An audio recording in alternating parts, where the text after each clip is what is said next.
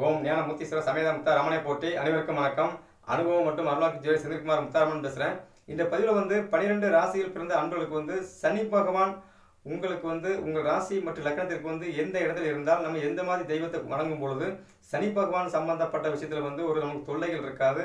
சனி பகவான் கிடைக்க வேண்டிய யோகங்கள் கிடைக்கும் அப்படிங்கிறத வந்து தெளிவாக சொல்கிறேன் நண்பர்கள் வந்து வீடியோ முழுமையாக பாருங்கள் சரி எல்லாருமே வந்து எல்லா கோயிலும் சாமி கும்பிட்றாங்கன்னா எல்லாருமே சாமி கும்பிடுவாங்க. எல்லாருக்கும் வரம் கிடைத்தனா கண்டிப்பாக இல்லை. ஏன்னா கிரக நிலைகள் வந்து உங்கள் ஜாதகத்தில் வந்து எந்த மாதிரி அமைப்பில் இருக்குதோ அதுக்கு தகுந்தாற் போல் வந்து நீங்கள் வந்து அந்த தெய்வத்தை வணங்கும் போது தான் அந்த தெய்வங்கள் வந்து உங்களுக்கு வந்து பிறப்பில் இருந்தே உங்களுக்கு வந்து கொடுக்க வேண்டிய விஷயங்களை மறக்காமல் அப்படியே கரெக்டாக கொடுத்துக்கிட்டே இருப்போம் அப்போது நண்பர்கள் வந்து வீடியோ முழுமையாக பாருங்கள் ஸ்கிப் பண்ணாமல் பாருங்கள் சரிங்களா? அப்போ தான் நான் சொல்ல வர பலன்கள் என்ன சொல்கிறேன் அப்படிங்கிறது வந்து உங்களுக்கு தெளிவாக புரியும்.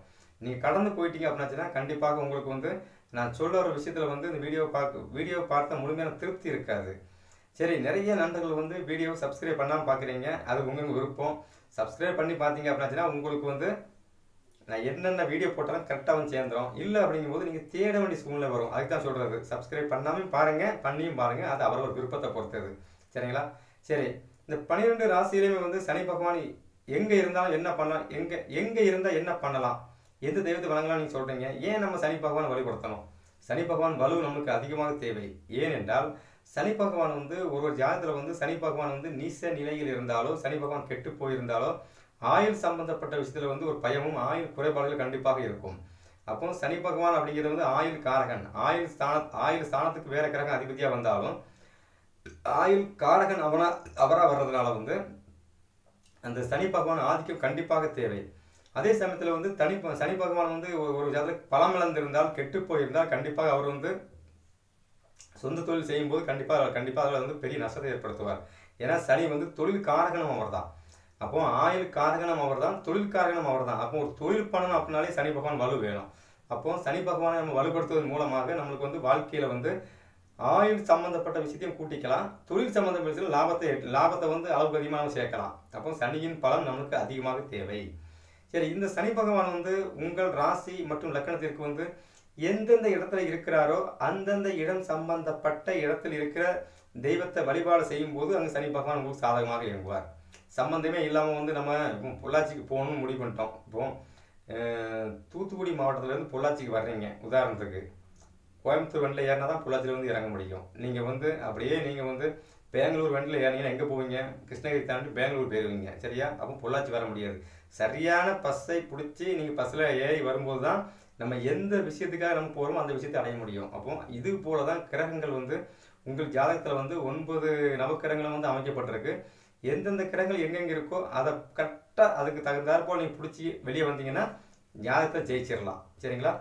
சரி இப்போ வந்து இந்த சனி பகவானுக்கு வந்து நம்ம என்ன மாதிரி பொருட்கள் கொண்டு நம்ம வந்து சில விஷயங்கள் செய்யலாம்னு கேட்டிங்கன்னா எல்லாமே எளிமையாக தான் சொல்லுவேன். உங்களுக்கு கஷ்டப்படுறதுனால நான் பலன் சொல்லவே மாட்டேன் எப்போவுமே. சரி சனி பகவான் அப்படின்னா என்னென்னு கேட்டிங்கன்னா அழுக்கு அழுக்கு நிறைந்த பொருட்கள் எல்லாமே சனி பகவான். இரும்பு சார்ந்த பொருட்கள் எல்லாமே சனி பகவான். நல்ல எண்ணெய் சுத்தமான நல்ல எண்ணெய். அதுவும் சனி பகவான் தான். அதாவது செக்கில் ஆட்டுற சுத்தமான நல்லெண்ணெய் இங்கே இந்த மூணு பொருளவே நீங்கள் செஞ்சாலே போதும். உதாரணமாக சொல்லணும் அப்படின்னாச்சுன்னா ஒரு கோவிலுக்கு போகிறீங்க அங்கேயே வந்து கோவிலில் வந்து கசகசன்னு சுத்தம் இல்லாமல் இருக்குதுன்னா நீங்களே அதை இறங்கி சுத்தம் பண்ணுங்க வாழ்க்கை ஜெயிச்சிடலாம் ஏன்னா சனி அப்படிங்கிறது சாக்கடை. சாக்கடை நீங்களே மின்னு செஞ்சுக்க இல்லை உங்களுக்கு உள்ளே இறங்கி செய்ய கஷ்டமாக இருக்குன்னா உடனே அங்கே இருந்து ஒரு பத்து பேரை கூப்பிட்டு அதை சுத்தம் பண்ண சொல்லி நீங்கள் பக்கத்தில் நின்று அதை மேற்பார்வையார் பார்த்து அதை அப்படியே ஒதுக்கி கொடுத்துட்டு அதுக்கு உண்டான கூலி அவங்களுக்கு கொடுத்துட்டு ஒரு சாப்பாடு வாங்கி கொடுத்தீங்க அப்படின்னாலே அந்த கோவிலில் இருக்கிறதுக்கு உண்டான புண்ணியம் தெய்வத்தை வழிபடுவதற்கு மேலான புண்ணியம் உங்களுக்கு அந்த இடத்துல கிடைக்கும். அதே சமயத்தில் வந்து எந்த ஒரு கோவிலுக்கு இங்கே போனாலும் சரி சுத்தமான நல்லெண்ணெய் கொண்டு விளக்கு போடணும்.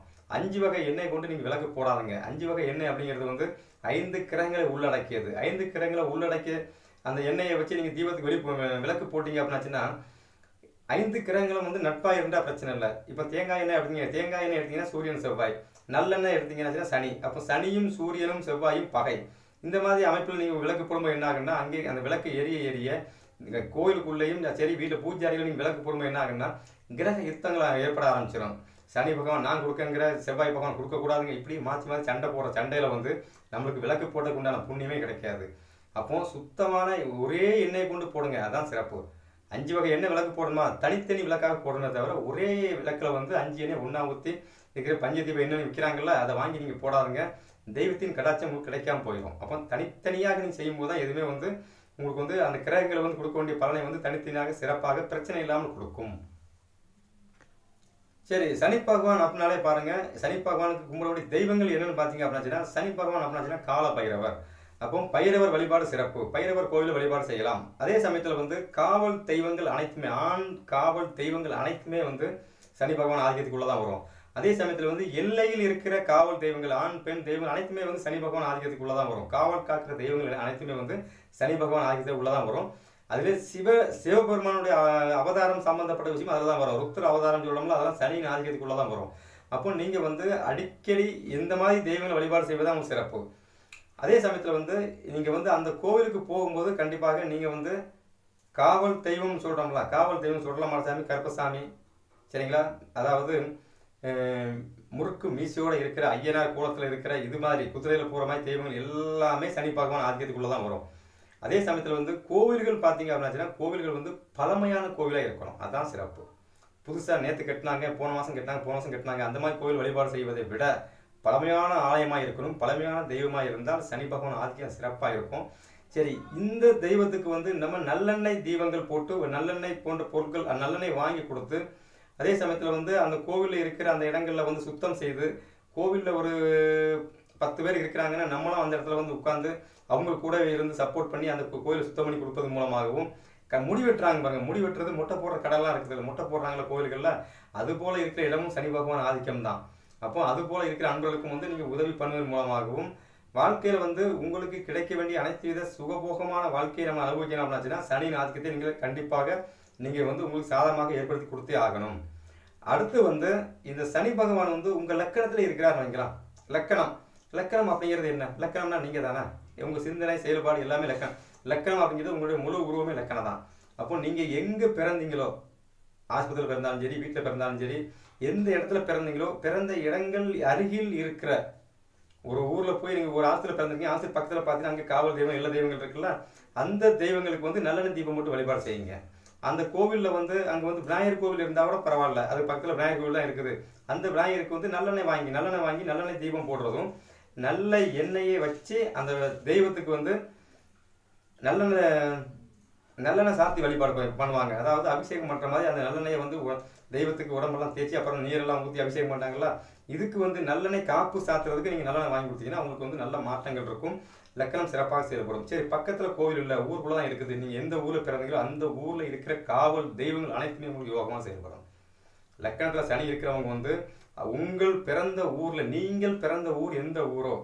இருக்கிறது எங்கே வேணாலும் இருந்து போகலாம் நீங்கள் எங்கள் ஊரில் பிறந்தீங்களோ அந்த ஊரில் இருக்கிற காவல் தெய்வங்களுக்கு வந்து நீங்கள் வந்து அடிக்கடி வந்து அந்த காவல் தெய்வங்களை வழிபாடு செய்வதும் காவல் தெய்வங்களுக்கு வந்து திருவிழா சம்பந்தப்பட்ட வீழ்ச்சி நடக்கும்போது அங்கேருந்து கலந்து கொள்வதும் அந்த திருவிழாவில் வந்து உங்களுடைய பங்கு மிக மிக முக்கியமாக இருந்ததுன்னா கண்டிப்பாக அந்த சனி பகவான் வந்து உங்களுக்கு வந்து லக்கணத்தில் சனி பகவான் வந்து கண்டிப்பாக யோகத்தை மட்டுமே கொடுப்பார்.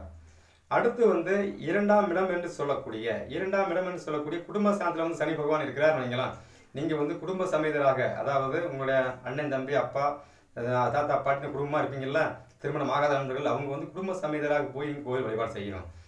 கல்யாணம் முடிஞ்சு மனைவி மக்கள் பிள்ளைகளோட இருக்காங்கன்னா இதுவும் ஒரு குடும்பம் தான். இந்த குடும்பத்தோட போய் நீ வழிபாடு செய்யணும் சிறப்பு. எங்க போய் வழிபாடு செய்யலாம் அப்படின்னு கேட்டீங்க அப்படின்னாச்சுன்னா எந்த ஒரு கோவில் ரெண்டாம் இடம் அப்படிங்கிறது வந்து குடும்பமாக இருக்கிற கோவில். குடும்பமாக இருக்கிற கோவில் குலதெய்வம் கோயில் எடுத்துக்கலாம். அங்கே போய் குலதெய்வம் கோயிலில் போய் நீ வழிபாடு செய்வது. அந்த குலதெய்வம் வந்து கோயிலாக இருந்தாலும் சரி ஊருக்குள்ளே ஒரு காவல் தெய்வம் எல்லா தெய்வம் எங்கே கும்பிட்டாலும் சரி குடும்பத்தோடு போய் சாமி கும்பிடணும் அதான் சிறப்பு. அந்த மாதிரி கோவிலுக்கு குடும்பத்தோடு நீங்கள் எல்லாருமே சேர்ந்து அன்னதானம் கொடுப்பது மூலமாகவும் உங்களுக்கு வந்து வாழ்க்கை சிறப்பாக இருக்கும்.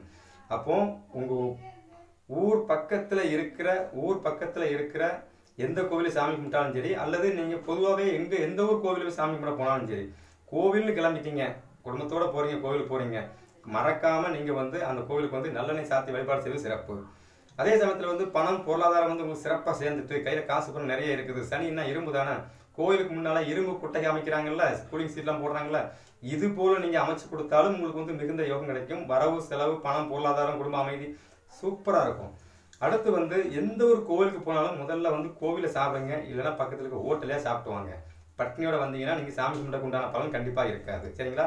அடுத்து மூணாம் இடம் என்று சொல்லக்கூடிய தைரியம் வீரியம் ஸ்தானம் என்று சொல்லக்கூடிய இந்த ஸ்தானத்தில் வந்து சனி பகவான் இருக்கிறார் அப்படின்னாச்சுன்னா நீங்கள் வந்து வணங்க வேண்டிய தெய்வம் எங்கே இருக்கும் அப்படின்னு கேட்டீங்க அப்படின்னாச்சுன்னா மூணு ரோடு சந்திக்கிற இடங்களாக இருக்கும். சரிங்களா? மூணு ரோடு சந்திக்கிற இடமா இருக்கும். அதுபோல இருக்கிற இடங்களில் வந்து இருக்கிற வீரமான தெய்வங்கள். வீரமான தெய்வம் என்ன?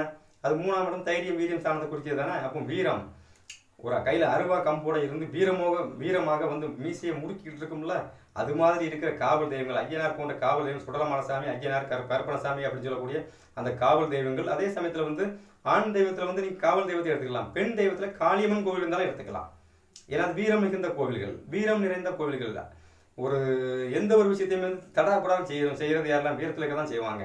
அது போல் இருக்கிற கோவிலில் இருக்கிற கோவில்களுக்கு வந்து நல்லெண்ணெய் வாங்கி நீங்கள் வந்து அந்த தெய்வத்துக்கு வந்து நல்லெண்ணெய் காப்பு சாத்துறதுக்கு வாங்கி கொடுக்கலாம். அதே சமயத்தில் வந்து அந்த கோவிலுக்கு வந்து நீங்கள் வந்து நல்லெண்ணெய் தீபம் வந்து நீங்கள் விளக்கு போடுறதுக்கு வாங்கி கொடுத்தாலும் நீங்களே நல்லெண்ணெய் தீபம் வழிபாடு செய்வதாக உங்களுக்கு சிறப்பு.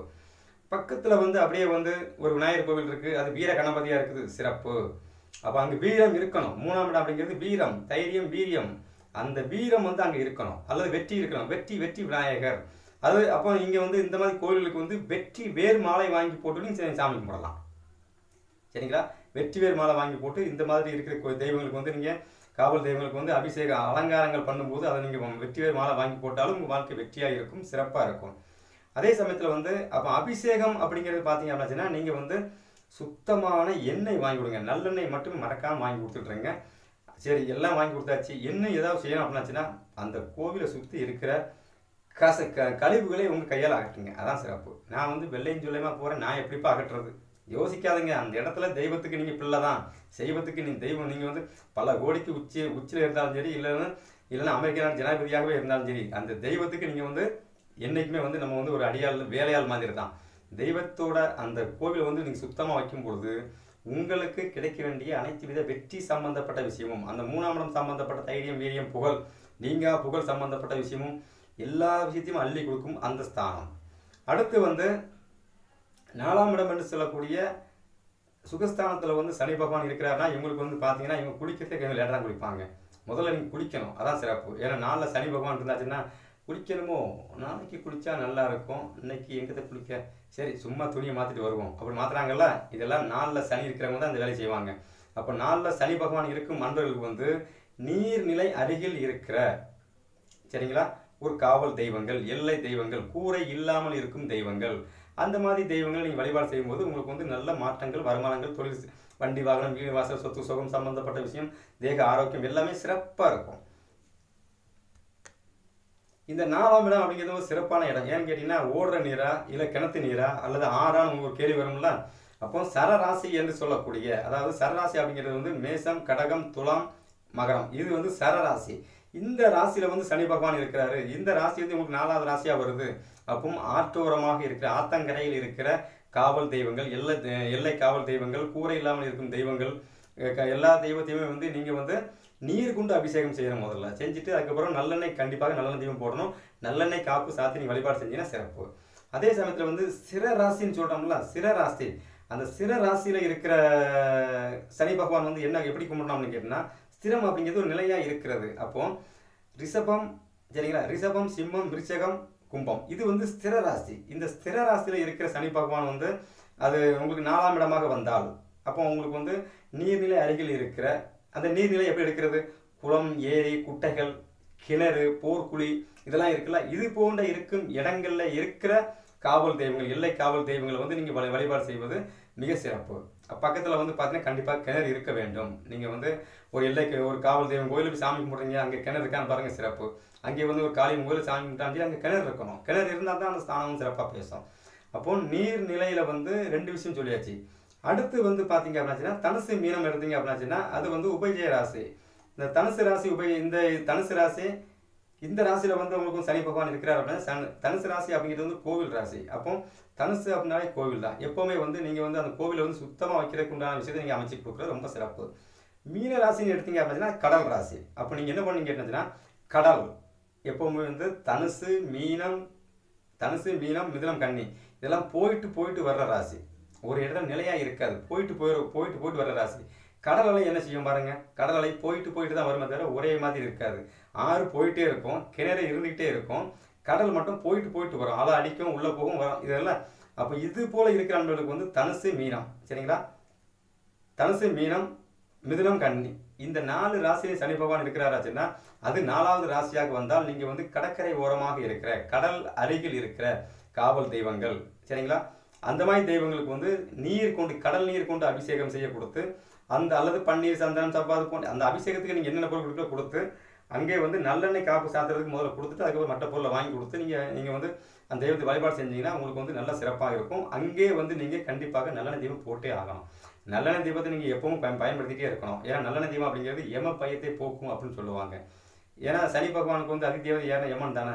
அப்போ உயிர் பய உனக்கு வந்து ஆயில் சம்மந்தப்பட்ட விஷயத்தில் இது ஏதாவது தொந்தரவு இருந்தாலும் சரியாக வரும் அப்படிங்கிறது தான் அந்த விஷயம். அடுத்து வந்து பார்த்தீங்கன்னாச்சுன்னா ஐந்தாம் இடம் என்று சொல்லக்கூடிய சரிங்களா? இந்த நாலாம் இடத்துலவே சிறப்பு என்னன்னு கேட்டிங்கன்னா அப்போ சனி பகவானுக்கு வந்து நம்ம அந்த கோயில் எப்படி வழிபாடு செய்யணும்னு நான் ஏற்கனவே சொல்லியிருக்கேன்ல அதை கடைபிடிச்சிட்டு வாங்க. அதுலேயே வந்து கையில் காசு பணம் நிறைய இருக்குது. அப்போ கடற்கரை ஆற்று ஓரமாக இருக்கிற நீர்நிலை ஓரமாக இருக்கிற கோவில் காளியம்மன் கோவில் இருக்குது. காளியம்மன் கோவில் இருந்தாலும் சரி இந்த மாதிரி கோவில்களுக்கு வந்து கோவில் மண்டபத்துக்கு முன்னால் வந்து கூலிங் சீட் இரும்பு கூலிங் சீட் தகர கூலிங் சீட் போடுறாங்கல்ல இன்றைய காலகட்டத்தில் மாதிரி அதெல்லாம் நீங்கள் வந்து கையில் காசு நிறையா நீங்கள் அமைச்சு கொடுத்தீங்கன்னா வாழ்க்கையில் வந்து உங்களுக்கு சனி பகவானால் வரும் தொல்லைகள் இருக்காது. வாழ்க்கை வெற்றியை நோக்கி நகர்றதை நீங்கள் கண்கூட உணர முடியும். சரி அங்கே கிணறு இருக்குது. நம்ம என்ன பண்ணலாம் கிணத்துல இறக்கிறப்ப வாளியை வாங்கி போடுங்க இரும்பு வாளியை வாங்கி போடுங்க வேலை முடிஞ்சது.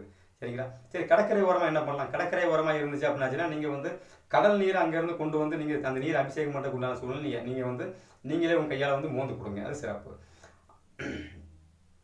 அடுத்து வந்து பார்த்தீங்கன்னா ஐந்தாம் இடம் என்று சொல்லக்கூடிய ஐந்தில் சனி பகவான் இருக்கிறார். கண்டிப்பாக இந்த ஆண்டுக்கு வந்து குழந்தை பக்கத்தில் தடை தாமதம் இருக்கும்.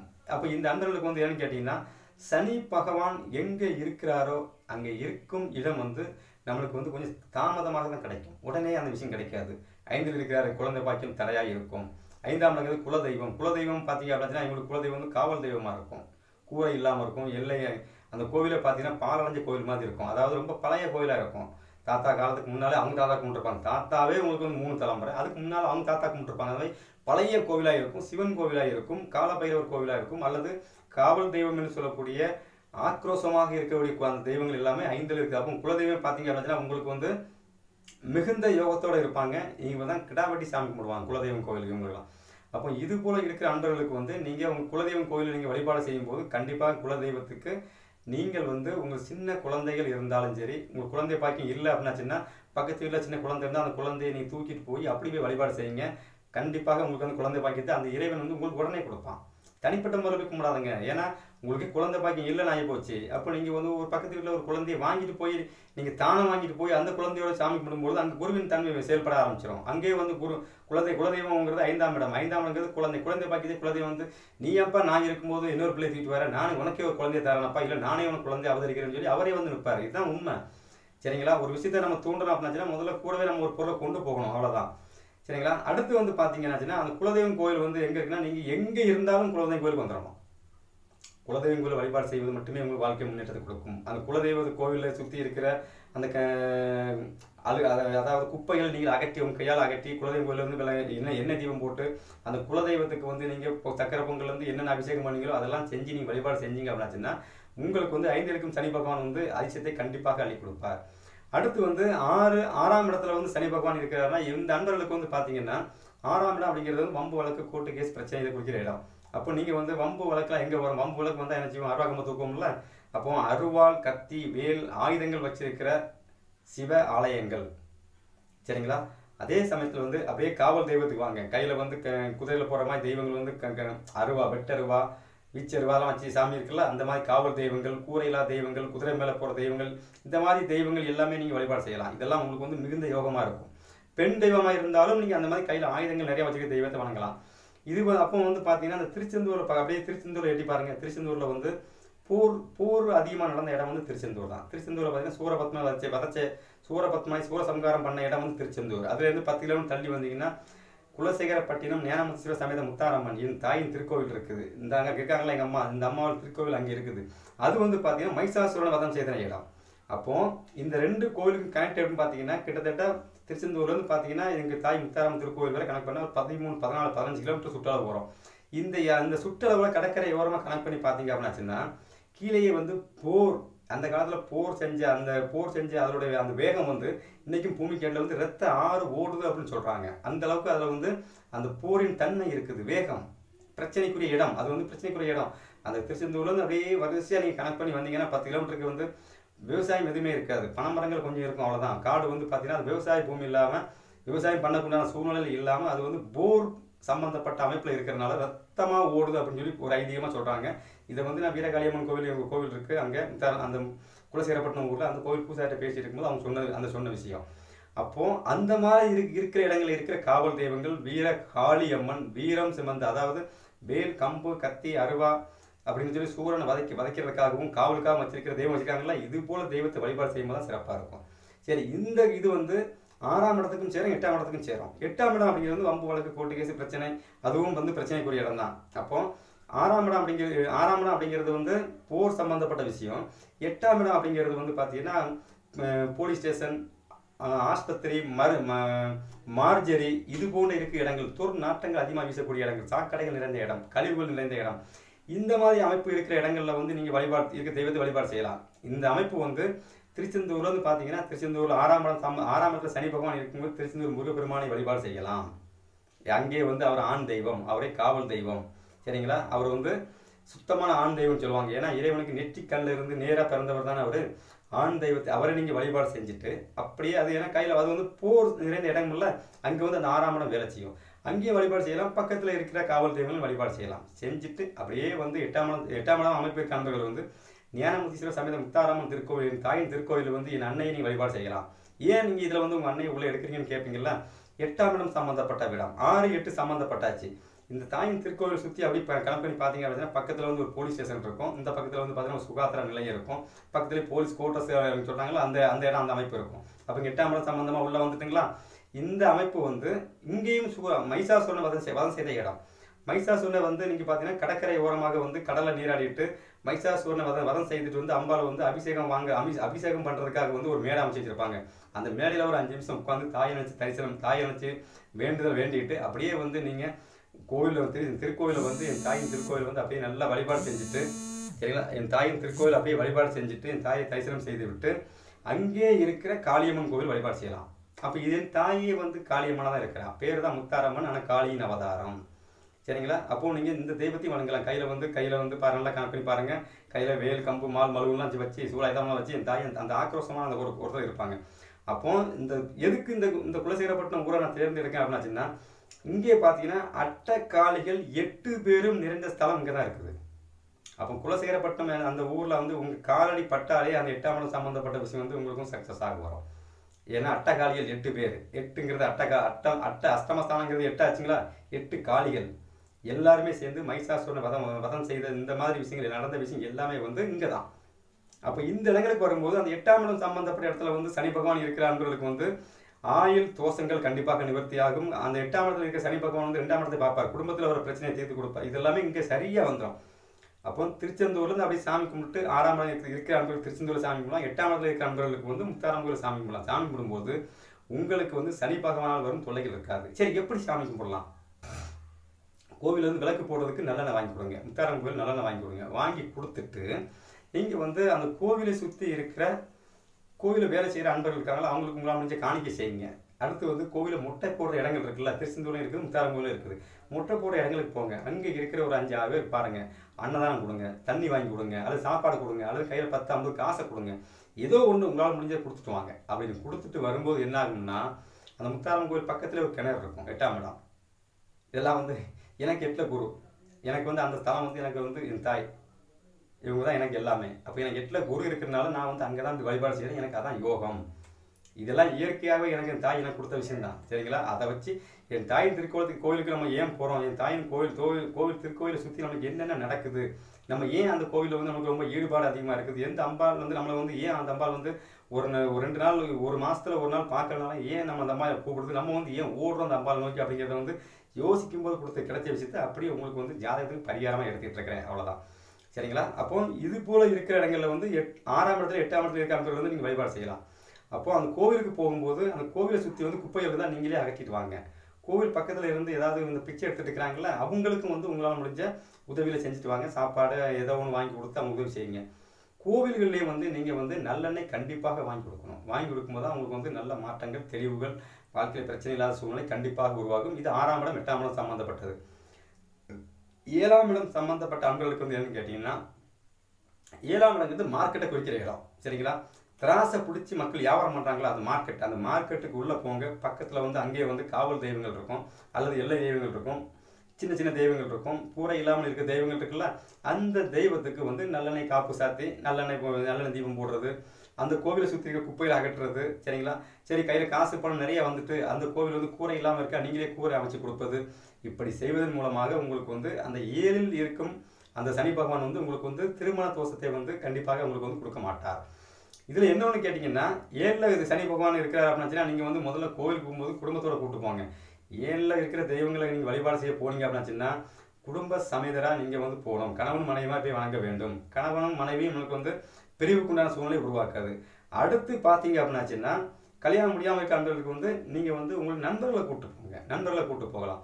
இது மார்க்கெட்டுக்குள்ளே மட்டும் தான் கும்பிடணுமா? வேற கும்பிடக்கூடாதுன்னு பார்த்தீங்கன்னா திருமண மண்டபம் பக்கம் பெரிய பெரிய மால் மகால்னு சொல்கிறோம்ல இது போன்ற இருக்கிற இடங்கள்லையும் பெரிய பெரிய அரசியல் மீட்டிங் எல்லாம் போடுறாங்கல்ல இது போல் இருக்கிற இடங்கள்லையும் பெரிய பெரிய விளையாட்டு மைதானங்கள் இருக்கலாம் அங்கே மக்கள் கூடுவாங்கல்ல இது போல் இருக்கிற இடங்களில் இருக்கிற காவல் தெய்வங்கள் இல்ல தெய்வங்கள் காளியம்மன் இந்த மாதிரி கோவிலை நீங்கள் வழிபாடு செய்யும்போது உங்களுக்கு வந்து நல்ல மாற்றங்கள் தொழில் வருமானங்கள் பிரச்சனை இல்லாத வாழ்க்கை கண்டிப்பாக அமையும். ஆனால் நல்லெண்ணெய் தீபம் போட்டு வழிபாடு செஞ்சே ஆக வேண்டும். சரிங்களா? அடுத்து வந்து பார்த்தீங்க அப்படின்னா ஒன்பதாம் இடம் என்று சொல்லக்கூடிய அந்த கே அந்த வந்து உங்களுடைய பாகிஸ்தானத்தில் வந்து சனி பகவான் இருக்கிறார் அப்படின்னா நீங்கள் வந்து சிவ வழிபாடு செய்வது சிறப்பு. காவல் தெய்வங்களை வந்து வழிபாடு செய்யலாம். எந்த கோவிலுக்கு போனாலும் சரி நீங்கள் வந்து கோவில்களுக்கு போனால் முதல்ல தானம் கொடுக்கணும். சும்மா போகணும். ஏன்னா சனி பகவான் அப்படின்னாலே கஞ்சன்னு அர்த்தம். சனி பகவான் ஒருத்தருக்கு லக்கணத்தில் இருந்தாலும் சரி லக்கணத்தை பார்த்தாலும் சரி அந்த அன்பர்கிட்ட வந்து நையா பைசா நீங்கள் வாங்க முடியாது. அந்த அளவுக்கு கஞ்சத்தனமாக இருப்பாங்க. குடும்பத்துக்கு செலவு பண்ணாலும் பார்த்து பார்த்து செலவு பண்ணுவாங்க. பாக்கியில் இருக்கிற எடுப்பாங்க பார்ப்பாங்க பாக்கியில் வைப்பாங்க அவர் உள்ள வைப்பாங்க. இதெல்லாம் சனி பகவான் வந்து லக்கணத்தையும் ராசியும் தொடர்பு கொண்ட அன்பர்களுக்கு வந்து கண்டிப்பாக இந்த அமைப்பு இருக்கும். அப்போ நீங்கள் வந்து எந்த கோவிலுக்கு போனாலும் முதல்ல தானம் பண்ணணும். இல்லைன்னு சொல்லாமல் தானம் பண்ணுங்க. அதான் உங்களுக்கு சிறப்பு. குருமார்களுக்கு வந்து அவங்க காலில் காலில் வந்து கா நீங்கள் ஆசீர்வாதம் வாங்கணும். ஒரு ஒரு ஒரு மடாதிபதியை பார்க்க போகிறீங்க போனீங்கன்னா அங்கே போய் அந்த குருமார்களை பார்க்கும்போது காலில் வந்து ஆசீர்வாதம் வாங்குவது அவங்களுக்கு வந்து வேஷ்டி துண்டு சம்மந்தப்பட்ட விஷயம் எடுத்து கொடுப்பது எல்லாமே உங்களுக்கு சிறப்பாக இருக்கும். அப்போ ஒன்பதுல சனி பகவான் இருக்கிறார் அப்படின்னா நீங்கள் கோவிலுக்கு போன உடனே கோவிலில் வந்து இறைவனுக்கு வந்து என்ன எண்ணெய் காப்பு சாத்தி வழிபாடு செய்கிறாங்களா அந்த நேரத்துக்கு முன்னாலே நீங்கள் கோயிலுக்கு போய் உட்காரணும். நீங்கள் வந்து சாமி காக்க சாமி வந்து உங்களுக்காக காத்திருக்கிற மாதிரி நீங்கள் பண்ணக்கூடாது. நீங்களே வந்து அதுக்கு முன்னாலே போய் நீங்கள் வந்து இருந்து என்ன காப்பு சாத்திரத்தை பார்த்து வழிபாடு செஞ்சீங்க அப்படின்னாச்சுன்னா உங்களுக்கு வந்து இந்த ஏழில் இது சாரி ஒன்பதுக்கு சனி பகவான் வந்து கண்டிப்பாக யோகத்தை கொடுப்பார். அப்போது நீங்கள் வந்து அந்த கோவிலுக்கு உள்ளே இருந்து வே- சாமி கும்பிட்டு வரீங்க. வந்தவுடனே அங்கே இருக்கவங்களுக்கு அன்னதானம் கொடுக்கறது. கோவிலுக்கு போயிட்டு வரும்போது அந்த கோவிலில் வந்து ஒரு ஒரு மணி நேரம் அரை மணி நேரம் உட்காந்துட்டு அதுக்கப்புறம் வருவது சிறப்பு. சரிங்களா? அடுத்து பத்தாம் இடம் என்று சொல்லக்கூடிய இந்த தமச இந்த- இந்த தசம கேந்திரத்தில் வந்து சனி பகவான் இருக்கும் அன்பர்களுக்கு வந்து நீங்கள் பத்து அப்படிங்கிறது பதவி ஸ்தானம் அதாவது தொழில் ஸ்தானம். அப்போ நீங்கள் வந்து எந்த இடத்துல தொழில் பண்ணுறீங்க பாருங்கள் தொழில் பத்தில் சனி பகவான் தான் கண்டிப்பாக அவங்க தொழில் பண்ணுவாங்க. சொந்த தொழில் பண்ணியே தீருவாங்க. அவங்க வந்து தொழில் வேணாம்னு சொல்லவே மாட்டாங்க. தொழில் தான் அவங்களுக்கு ஒரு ஆர்வம் இருக்கும். பழைய இரும்பு சம்பந்தப்பட்ட வியாபாரங்கள் பழசு குப்பைகள் அல்றது அப்போ குப்பைகள் நிறைந்த இடங்கள் இருக்க இருக்கிற இடங்களில் வந்து நீங்கள் தொழில் அமைச்சிங்காலும் சிறப்பாக இருக்கும். அது போல் இருக்கிற இடங்களில் இருக்கிற காவல் தெய்வங்கள் எல்லை தெய்வங்கள் காளியம்மன் இந்த மாதிரி தெய்வம் வழிபாடு செய்வது சிறப்பு. அப்போ அந்த கோவில்களில் வந்து இருக்கிற அந்த அந்த தொழில் பண்ண இடங்களில் இருக்கிற அந்த நீங்கள் தெய்வத்தை வழி வழிபாடு செய்யும்போது வந்து சுத்தமான நல்லெண்ணெய் ஊற்றி நீங்கள் தீபம் போட்டால் சிறப்பாக இருக்கும். அப்போ பழைய இரும்பு குப்பைகள் சம்பந்தப்பட்ட இடங்களில் இருக்கிற அந்த தெய்வத்தையும் நீங்கள் வணங்கலாம். குப்பைகள் நிறைந்த இடம். அந்த குப்பையை வந்து நீங்கள் அகற்றணும். அதுதான் உங்களுக்கு பரிகாரம். குப்பையை அகட்டணும். சரி அந்த கூரை இல்லாமல் இருக்குன்னாச்சுன்னா நீங்கள் பழைய நீங்கள் வந்து இரும்பு இரும்பு தான் நீங்கள் இரும்புல தான் கூலிங் சீட்லாம் போட்டு எல்லாமே எல்லா கோயிலும் கொடுக்குறாங்களா அது போல் நீங்கள் சரி அப்படி கொடுத்தாலும் உங்களுக்கு வந்து வாழ்க்கையில் நல்ல மாற்றங்கள் ஏற்றங்கள் தொழில் சிறப்பாக இருக்கும். தொழில் நல்லா இருக்கும். சரி அடுத்து வந்து பார்த்தீங்கன்னா அது கர்மஸ்தானமாக வருது பத்தாம் இடம் அப்படிங்கிறது. இப்போ நீங்கள் என்ன பண்ணான்னு கேட்டிங்கன்னா முதல்ல வந்து மின் மயானம் என்று சொல்லக்கூடிய சுடுகாடு என்று சொல்லக்கூடிய மின் மயானம் இருக்குல்ல அது பக்கத்தில் இருக்கிற தெய்வங்களுக்கும் நீங்கள் உதவி அந்த நல்லெண்ணெய் தீபம் போடுறது நல்லெண்ணெய் வாங்கி கொடுப்பது இது எல்லாமே உங்களுக்கு சிறப்பாக இருக்கும்.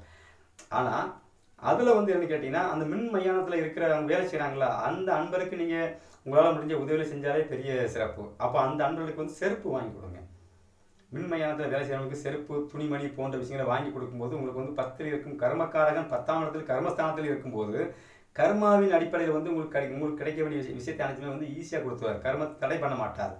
அடுத்து பதினோராம் இடம் என்று சொல்லக்கூடிய லாபஸ்தானத்தில் சனி பகவான் இருக்கார். இந்த அமைப்பில் இருக்க அன்பர்களுக்கு வந்து லாபம் அப்படிங்கிறது வந்து மிகப்பெரிய இடத்தை குறிக்கிறது. ஒன்று ரெண்டாக்கி ரெண்டு நாளாக்கி எட்டு பதினாறாக்கில் இதான் லாபம். அப்போ சின்ன சின்ன தெய்வங்களை வழிபாடு செய்வதை விட அதாவது ஒரு பணம் ரெண்டு பணம் கோயிலில் இருக்கிற காவல் தெய்வங்கள் கூரை இல்லாமல் குதிரையில் போகிற காவல் தெய்வங்கள். கோயில் சிலை பார்த்தீங்கன்னா பெரிய லெவலில் இருக்கணும். சின்ன சின்ன சே- சாமி சிலையில் இருக்கிற தெய்வத்தை வணங்காமல் பெரிய பெரிய மகா மகா மகாலட்சுமி சொல்கிறாங்களா இது எல்லாமே வந்து பெருசு. மகா அப்படிங்கிறது பெருசு தானே? அப்போ பெரிய பெரிய ஒத்தப்பன சாமின்னு சொல்லுவாங்க. எங்கள் ஊரில் தெய்வம் இருக்குது. ஒத்தப்பன சாமி. ஒரு பணம் உயரத்தில் ஒரே ஒரு பணம் தான் இருக்கும். அதுக்கு அது கீழே தான் ஒரு சோழமன சாமி கோவில் இருக்குது. அது போல் தெய்வத்தை நீங்கள் தேர்ந்தெடுக்கலாம். ஒரே பனை பனைமரம் அப்படிங்கிற சனி. அது லாபஸ்தானத்தில் இருக்குது. கோவில் பார்த்தீங்கன்னா பெரிய கோவில். கிடா வெட்டுவாங்க சூப்பராக இருக்கும் கோவில் போய் பாருங்கள் அந்த மாதிரி கோவில் நீங்கள் தேர்ந்தெடுத்தாலும் வாழ்க்கை சிறப்பாக இருக்கும். இது ஒத்தப்படம் சாமிக்கும் எடுக்கலாம். அடுத்து வந்து பனை மரங்கள் நிறைய இருக்குது. அதுக்குள்ளே வந்து காவல் தெய்வம் இருக்குது. அந்த தெய்வம்லாம் எப்படி இருக்குன்னு பார்த்தீங்கன்னா கிட்டத்தட்ட ஒரு ஏழு எட்டு அடி இருக்கும். அந்த மாதிரி தெய்வத்தை வழிபாடு செய்யும்போது சிறப்பு. ஏன்னா பனைமரம் அப்படிங்கிறது வந்து சனி பகவான். அங்கேயே கீழே ஒரு காவல் தெய்வம் இருக்குது. அல்லது காளியம்மன் கோவில் இருக்குது. அல்லது ஏதோ ஒரு கோவில் இருக்குது. அந்த கோவில் சாமி சிலை வந்து பார்த்தீங்க அப்படின்னாச்சுன்னா நம்ம அஞ்சு அடி இருக்கிறோம் சாமி பதினஞ்சு அடி இருக்குது. அந்த மாதிரி தெய்வத்தை வணங்கும் போது தான் உங்களுக்கு லாபங்கள் கிடைக்கும். அப்படி எல்லா கோவிலில் போய் நீங்கள் வழிபாடு செஞ்சீங்க அப்படின்னா கண்டிப்பாக லாபங்கள் இருக்காது. நம்ம ஜாதகத்தில் எங்கே எங்கே எந்த கிரகம் இருக்கோ அந்தந்த இடத்துல இருக்கிற அந்தந்த தெய்வத்தை போய் நாங்கள் அப்படியே கட்டியாக பிடிச்சோம் அப்படின்னாச்சுன்னா வாடா மகனே உனக்கு கொடுக்காது நான் யாருக்கா கொடுக்க போகிறோம்னு சொல்லி உடனே தூக்கி கொடுக்கும். ஏன்னா ஜாதகத்தில் இருக்கிறது தான் தெய்வங்கள் கொடுக்கும். ஜாதகத்தில் இல்லாத இல்லாத ஒன்றை போய் நம்ம தேட முடியாது. எந்த ரூமில் சாவியை தொலைச்சோமோ அந்த ரூமில் தான் சாவியை தேடணும். சரிங்களா? தனியாக ஒரு ரூம் கட்டி அங்கே சாமி தேடக்கூடாது. சரிங்களா? அப்போ நம்ம ஜாதகத்தில் எந்த மாதிரி அமைப்பு இருக்கோ அந்த அமைப்பை அப்படியே நீங்கள் ஆக்டிவேட் பண்ணினா அதுக்கேற்ற மாதிரி தெய்வ வழிபாடு செய்யும்போது அது தோஷமாக இருந்தால் நிவர்த்தியாகும் யோகமாக இருந்தால் செயல்படும். அடுத்து வந்து பதினோராம் இடம் அப்படிங்கிறது வந்து பார்த்தீங்க அப்படின்னாச்சுன்னா லாபஸ்தானம் சொல்கிறோம்ல லாபஸ்தானத்தில் சனி பகவான் இருக்கிறாரு.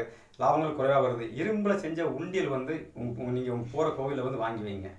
இரும்பில் ஆன உண்டியல் ஒன்று வாங்கி வச்சு நீங்கள் முதல்ல ஒரு காணிக்க ஒரு ஒரு ஒரு ரூபாயோ ஒன்றே ரூபாயோ பதினோரு ரூபாயோ நூறுரூவாயோ சக்தி தகுந்த மாதிரி போட்டு வாங்க. அந்த உண்டியில் காசு சேர சேர உங்கள் வாழ்க்கையில் வந்து பொருளாதாரம் வந்து மிகப்பெரிய உச்சத்தை அடையும். அடுத்து பன்னிரெண்டாம் இடம். பன்னிரெண்டாம் இடத்துல சனி பகவான் இருக்கிறாரு. என்ன பண்ணலாம்? ஆனால் இந்த பதினோராம் இடத்துல இருக்கிற அந்த சனி பகவானுக்கு வந்து நீங்கள் கண்டிப்பாக நல்லெண்ணெய் சொன்னோம்ல அது சொல்லாம மட்டும் நினச்சிடாதங்க. நல்லெண்ணெய் தீபம் போட்டு வழிபாடு செஞ்சே ஆகணும். நல்லெண்ணெய் தீபம் போட்டே ஆகணும். தீபங்கள் வந்து எப்பவும் சிறப்பாக போடணும்.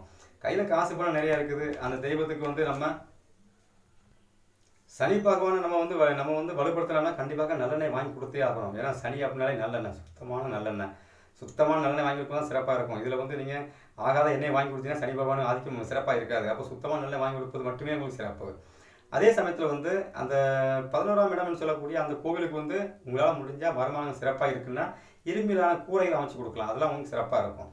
அடுத்து வந்து உங்கள் ராசி மற்றும் லக்கணத்துக்கு வந்து பன்னிரெண்டாம் இடத்துல வந்து சனி பகவான் இருக்கிறாரு. பதினேழாம் இடம் கேட்டால் ஐயனே சையனே சுக போகும் சாந்திரம் சனி பகவான் இருக்கும்போது என்ன ஆகுன்னா உங்களுக்கு வந்து தூக்கத்துக்கு எடுத்துக்கிட்டே இருப்பார். செலவுகளை வந்து உருவாக்கி கொடுத்துக்கிட்டே இருப்பார். அப்போ நீங்கள் என்ன பண்ணாச்சுன்னா ஊரோட கடைசி பகுதியில் இருக்கிற பன்னிரெண்டாம் இடங்கள் அப்படிங்கிறது தூங்குற நேரம். அதாவது இரவு நேரங்கள்னு எடுத்துக்கலாம். ஊரோட கடைசி பகுதியை எடுத்துக்கலாம். கடைசி பகுதியில் இருக்கிற காவல் தெய்வங்கள் எல்லா தெய்வங்கள் இருக்குல்ல அந்த தெய்வத்துக்கு வந்து நீங்கள் மறக்காமல் நீங்கள் வந்து நல்ல தீபம் நல்ல தீபம் போடுறது நல்லெண்ணெய் வாங்கி நல்லெண்ணெய் வாங்கி எண்ணெய் காப்பு சாத்திரை வாங்கி கொடுத்தீங்கன்னா ரொம்ப சிறப்பாக இருக்கும். ஆனால் கோவிலுக்கு போகும்போது நடந்து போகணும் முதல்ல. ஏன்னா பன்னிரெண்டாம் இடம் அப்படிங்கிறது கால் பாதம் நடந்து போகிற இடம். இரவு நேரங்களில் பூஜை நடக்கிற கோவிலில் வந்து தங்கி இருந்து அந்த தெய்வத்தை வழிபாடு செஞ்சு அதுக்கப்புறம் அடுத்த நாள் காலையில் எஞ்சி வருவது தான் உங்களுக்கு சிறப்பு. போனோமா சாமி பார்த்தோமோ சரி சாமி கும்பிட்டாச்சு பூஜை முடிஞ்சு போச்சு நீங்கள் எஞ்சி வீட்டுக்கு வரக்கூடாது. அங்கேயே தங்க வேண்டும். தங்கி வழிபாடு செய்வது தான் சிறப்பு. அதே சமயத்தில் வந்து பக்கத்து வீட்டில் இருக்கிற கோவிலுக்கு போகிறீங்க இரவு நேரத்தில் என்ன செய்ய முடியும்?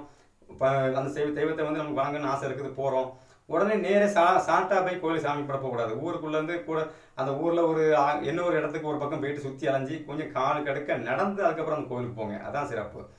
அப்போ வெளியூர் வெளி மாநிலத்தில் இருக்கிற தெய்வங்களையும் நீங்கள் போய் நீங்கள் டிராவல் மூலமாக போய் நீங்கள் வழிபாடு செய்யலாம். ஒரு பஸ்ஸில் போய் ஊரில் இப்போ நான் இருக்கிற புலத்தில் இருக்கிறேன். நான் வந்து திருநெல்வேலியில் இருக்கிற தெய்வத்தை எப்படி வாங்க போக முடியும்? டிராவலில் தானே போகிறோம் இப்படி நீங்கள் வழிபாடு செய்வதும் சிறப்பு. இப்படி வழிபாடு செய்ய போகும்போது அங்கே இரவு நேரத்தில் தங்கினீங்கன்னா இன்னும் சிறப்பு. சரி தங்க வேண்டிய சூழ்நிலை இல்லை. ஒன்று வரணும்னாலும் தப்பு இல்லை. ஆனால் பக்கத்தில் இருக்குது. முடிஞ்ச அளவு தங்கினா தான் சிறப்பு. பன்னெண்டாம் இடங்கிறது இரவு நேரத்தை குறிக்கிறது. தங்கி இருந்து இரவு நேர பூஜையில் வந்து மறக்காமல் கலந்து அங்கே இருக்கிற அந்த அபிஷேகம் தீர்த்தங்கள் எல்லாத்தையும் நல்லா கண்கூட பார்த்துட்டு நீங்கள் அந்த தெய்வத்தை வணங்கிட்டு வந்தால் உங்களுக்கு வந்து வாழ்க்கையில் வந்து சனி பகவான் பன்னிரெண்டு இருக்கும் சனி பகவான் வந்து யோகத்தை கண்டிப்பாக கொடுப்பார். ஏன்னா பன்னிரெண்டு இருக்கிற கிரகம் வந்து சனி வந்து மூணாம் பாதி வந்து ரெண்டாம் இடத்தை பார்ப்பார். குடும்பத்தை வந்து நோண்டிக்கிட்டே இருப்பார். பண பிரச்சனை தடுத்துக்கிட்டே இருப்பார். அப்போ ஏதோ ஒரு சூழ்நிலை வந்து நம்ம பேசினாலே வில்லங்க வந்துகிட்டே இருக்கும். இது எல்லாமே அந்த பன்னெண்டாம் அன்பர்களுக்கு வந்து இப்படி சாமி கும்பிடும்போது நிறைய மாற்றங்கள் இருக்கும். வாழ்க்கையில் வந்து சனி பகவானால் தொல்லைகள் இருக்காது. அப்போ பன்னிரெண்டாம் இடம் அப்படிங்கிறது அபிஷேகம். அபிஷேகம் கண்டிப்பாக செய்யணும் நீங்கள் எந்த தெய்வத்துக்கு போனாலும் சரி நீங்கள் அபிஷேகம் பண்ணுங்க இரவு நேரங்களில் தான் நீங்கள் அபிஷேகம் செய்யணும். அதை தான் பார்க்கணும் அபிஷேகம் செய்யணும். அதுதான் சிறப்பும் கூட. சரிங்களா? அப்போ பன்னிரெண்டாம் இரவு நேரங்களில் போனால் நீங்கள் விளக்கு போடலாம்ல? விளக்கு போட்டால் ஏற்கனவே இரவு சனி அப்படிங்கிறது இருட்டு.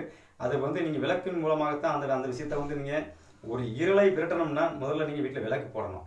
சனியின் கெட்ட விஷயத்தை நீங்கள் நீங்கள் வந்து ஒதுக்கணும் அப்படின்னா முதல்ல தெய்வத்துக்கு விளக்கு போட்டால் மட்டுமே அந்த சனியின் ஆதிக்கம் வந்து உங்களுக்கு வந்து நல்ல பலனை வந்து கொடுக்கறதுக்கு உண்டான சூழ்நிலை கண்டிப்பாக அந்த தெய்வங்கள் உருவாக்கும்.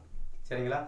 சரி பன்னிரெண்டு ராசியில் பிறந்த அன்பர்களுக்கும் வந்து சனி பகவான் எங்கெங்கே இருந்தால் எந்த மாதிரி இருக்கிற தெய்வங்களுக்கு வணங்கணும் எந்த இடத்துக்கு தெய்வத்தை வணங்கணும் எப்படி வணங்குங்க தெளிவாக சொல்லிட்டேன். நண்பர்கள் வந்து அப்படியே போய் நீங்கள் இந்த மாதிரி தெய்வத்தை வணங்கி பாருங்கள் நல்ல வாழ்க்கையில் நல்ல நிலைமையில் இருக்கிறவங்க வந்து நான் மேற்படி சொன்ன அந்த விஷயத்தை செஞ்சுக்கிட்டே இருப்பீங்க. கொஞ்சம் கஷ்டத்தில் இருக்கிறவங்க வாழ்க்கை தடுமாற்றத்துக்கு அன்பர்கள் வந்து என்னென்னு என்னென்னு கேட்டிங்கன்னா அப்படியே ஏதோ சாமி கும்பிட்டோம் போனோம் வந்து போயிட்டு இருப்பீங்க. அவ்வளோதான் சொன்ன விஷயத்தை கடைப்பிடிச்சு பாருங்கள் வாழ்க்கையில் சிறப்பாக இருக்கலாம். சரிங்களா? சரி இதை இன்னொன்று சொல்லாமல் விட்டுட்டேன். எந்த ஒரு கோயிலுக்கு போனாலும் சரி முடி காணிக்க கொடுக்க கொடுக்குற இடங்களுக்கு போங்க. சனி பகவான் உங்கள் ராசிக்கு எங்கே இருக்கிறாங்களோ அதுக்கு அந்த அந்த கோவிலில் முடி காணிக்க கொடுக்குறாங்களா அங்கே போய் அங்கே இருக்க அன்பர்களுக்கு வந்து உங்களால் கொஞ்சம் உதவி செய்யுங்க. சரி எனக்கு வந்து ஜாதகமும் இல்லை ஒன்றும் இல்லை. எனக்கு சனி எப்படி வணங்குற அன்பர்கள் வந்து எந்த கோவிலில் போய் உட்கார்ந்தாலும் சரி பத்து நிமிஷம் வந்து கோவில் வாசலில் வந்து உங்கள் கையை வந்து மடியை ஏந்தி அங்கே வர அன்பர்கிட்ட வந்து பிச்சையாக வாங்கி காணிக்கையை வாங்கி அந்த இறைவனுக்கு வந்து காணிக்கையை வந்து அந்த பிச்சையை எடுத்த காணிக்கையை கொண்டு இறைவன் உண்டியில் போட்டுட்டு நீங்கள் போய் அந்த தெய்வத்திட்ட வந்து கையேந்தினீங்க அப்படின்னாச்சுன்னா இறைவன் வந்து உங்கள் பிச்சையை வந்து உங்களுக்கு வந்து பல கோடியாகவோ பல ரூபத்தில் வந்து உங்களுக்கு பெருக்கி கொடுப்பான். இது சத்தியமாக நிதர்சனமாக நான் கண்ட உண்மை. நீ எப்பப்பா பிச்சை தானே ஒரு கேள்வி வரும்ல? நான் வந்து ஏற்கனவே வந்து என் தாய் முத்தாரம்மனுக்கு வந்து காளியம்மன் வேஷம் கட்டி ஊர் ஊராக போய் வீடு வீடாக போய் காணிக்க வாங்குவோம். காணிக்கம்னா வேஷம் அந்த வேஷத்தோட காளியம்மன் வேஷத்தோட போவோம். வேஷத்தோட போய் ஊர் வீடா போய் வீடு வீடாக போய் காணிக்க வாங்குவோம். அவங்க அருவா கேட்பாங்க அருவா சொல்லுவோம். சொல்லணும் அவங்க காணிக்க வைப்பாங்க. அந்த காணிக்கையை கொண்டு போய் நான் வந்து என் தாயின் திருக்கோயிலில் வந்து நாங்கள் வந்து கடமையை செலுத்தி இருக்கிறேன் செலுத்தி கொண்டு இருக்கிறேன் இன்றைக்கும். போன வருஷம் சரி முப்பத்தி மூணு முப்பத்தி நாலு வருஷமாக கும்பிட்டுட்டு இருக்கிறேன். தெய்வத்தை காளியம்மன் வேஷம் கட்டி ஆடுறேன். அந்த தெய்வத்துக்கு வந்து இப்படி தான் நான் செஞ்சிட்ருக்கிறேன். நான் வந்து அந்த மாலை போட்ட டைமில் வந்து என் தெய்வத்துக்கு வந்து பிச்சை எடுத்து கொண்டு அங்கே செலுத்துகிறேன் என் தாய் எனக்கு கொடுக்க வேண்டிய விஷயத்தை வந்து அவள் வந்து அந்த பிச்சையை வந்து எனக்கு வரமாக மாற்றி கொடுக்குறா. இவ்வளோ தான் கான்செப்ட் சரிங்களா?